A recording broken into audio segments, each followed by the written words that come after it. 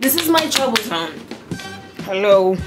Can I ask you a question? When I got back from vacation, I was pretty fat. So I really needed to get it together. I decided to take this thing called Fit Tea because it was chock full of natural herbs and medicine and things like that.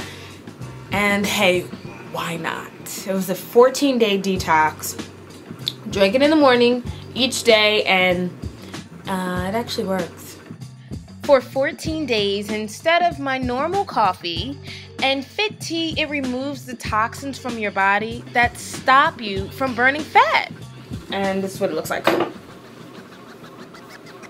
I did get a little skinnier. A little.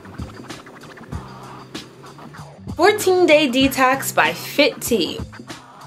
Mm.